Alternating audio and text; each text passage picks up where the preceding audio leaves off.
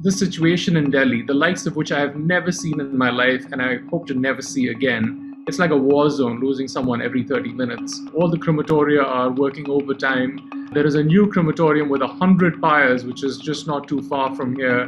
You know, my own phone is, is constantly with messages about people who need oxygen. Can you get a bed here? Can I get some drugs here?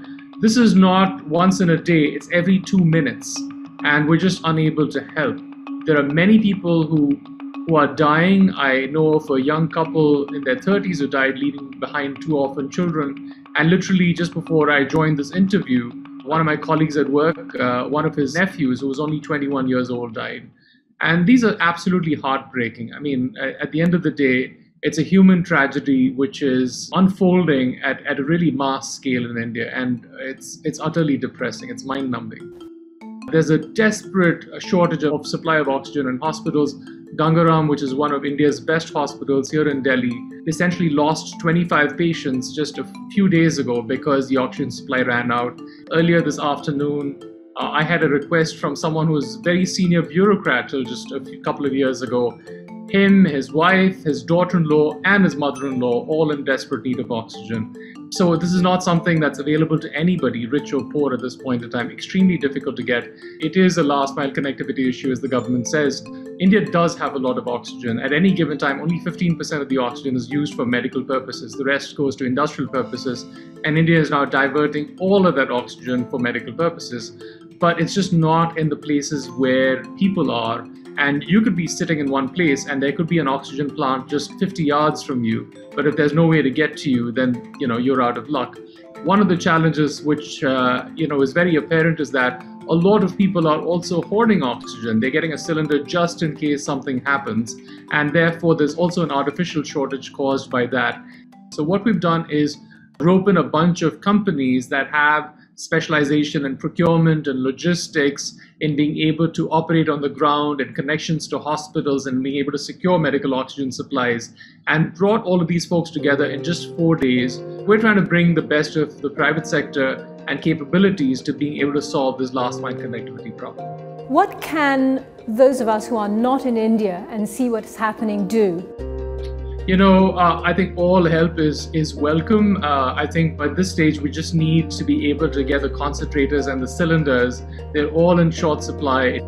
The situation in Delhi it brings out both the best and the worst in people. The worst in people is, you know, people needing, wanting stuff even though they are not absolutely in desperate need wanting a hospital bed when their oxygen just drops to 92 and I have people at oxygen levels of 62 who need a bed and trying to throw their weight around and their privilege. And that's the worst of humanity.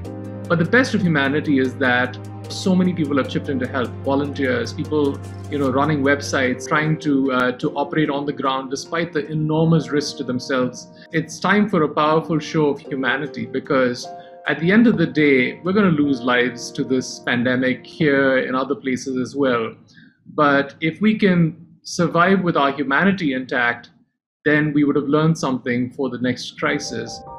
The B1617 and the B1618, which are uh, the so called Indian variants, are not scientifically linked to increased transmissibility or lethality. But that said, the clinical presentation of the disease in the second wave seems markedly different. I had not really heard of any 21 year olds die or 30 year olds die in the first round. There were, but not, you know, anecdotally, uh, and also talking to people on the ground, it seems as if we're facing quite a different situation. So something is changing in these strains for sure. And also, we had evidence that breakthrough strains against the AstraZeneca vaccine were negligible based on data which are a couple of months old. But I'm not so sure anymore. I'm, we're seeing anecdotally again, not data based. People who've been fully vaccinated, both doses, you know, I know of a doctor who died after getting both doses and then got a COVID infection. So this is going to be a changing enemy, and that's how it works. Would you say that to other people that no matter what, you should still get the vaccination, even though there's still a possibility you could get uh, COVID 19 even after the vaccination?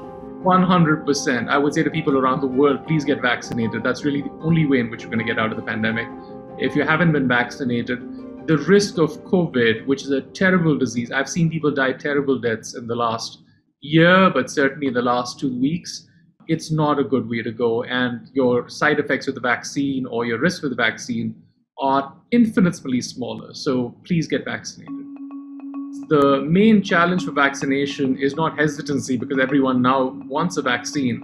It's really a supply issue. Unfortunately, India did not invest the same way that other countries did in procuring its vaccine supply and therefore there's a huge shortage. India produces about two and a half million doses a day, but uh, even if it's vaccinating at two and a half or three million doses a day, it will take almost another two years to get all the necessary people vaccinated. So uh, the vaccination production needs to ramp up to five or six times where it is right now. The central government is basically now punted to all the state governments to procure their own vaccines, something which is unimaginable, never been done in India for vaccines before. India always produces, procures its vaccines at a central level. And what that may end up doing is inducing a competition between states to procure vaccines, in which case the wealthier states, which are all in the south, may end up getting more vaccines than the states in the north.